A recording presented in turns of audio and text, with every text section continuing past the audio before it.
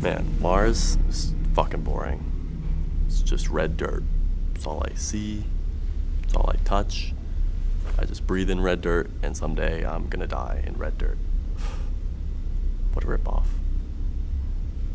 You can be a real prick sometimes. You know that?